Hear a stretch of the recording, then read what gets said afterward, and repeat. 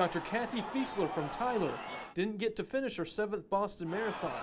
The bombs exploded before she could reach the finish line.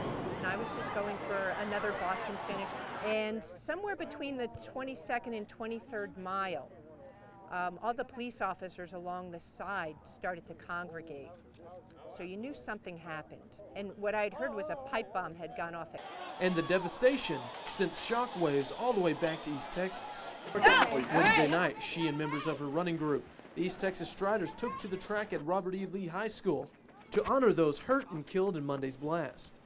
She says Wednesday's run is to prove solidarity amongst runners and that she plans to go back to Boston next year. Rebecca Dixon with East Texas Striders says the group will hold another run to raise money Saturday. One of our friends was like, well, why don't we raise money for, um, not just run for Boston, but actually raise money for the victims. And so the governor of Massachusetts set up a fundraiser called the One Fund, and that's where all the money will go directly toward the victims.